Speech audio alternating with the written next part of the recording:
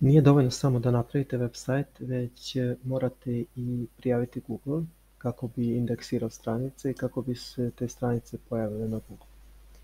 Za to je potrebno da prijavite, se prijavite na Google Search Console. Ukucate Search Console i pojavi se među prvim rezultatima. Kliknete pa ćete doći na njihovu landing stranicu i kliknete na Start Now.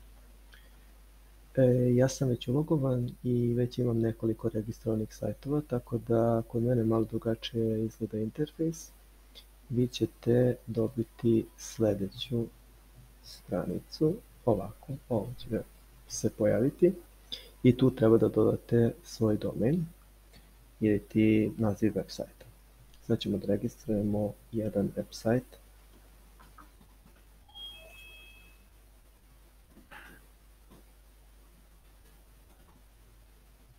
i kliknete na Continue.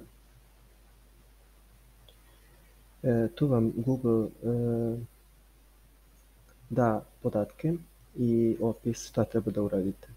U suštini kako biste prijavili vaš e, domen, te vaš website, e, morate da verifikujete kako bi Google zna da vi imate kontrolu nad websajtom.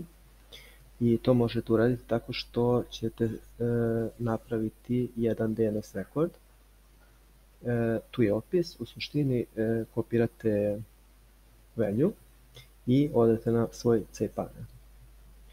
E, cPanel pronađete domain, manage zones i izaberete svoj domain. Ja sam već izabrao jer imam svašta nešto na domenu, ne bih volio da se to vidi. I izaberete txt record.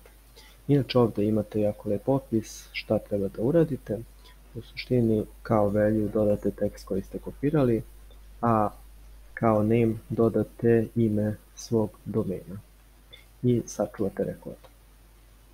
Najbolje da sačekate nekoliko sekundi, a posle kliknete Verify. E sad, Google inače indeksira stranice, iako ne uradite ovo, ali e, bolje da uradite jer i onda imate potpuno kontrolu nad e, svom web sajtom, svim stranicama možete da e, tražite da Google indeksira neke stranice, a možete da kažete evo stranicu nemojte indeksirati, tako da neće se pojaviti na Google. Sad kliknemo Verify i ako smo sve uradili dobro, onda se pojavi poruka da smo to, da jesmo uradili dobro.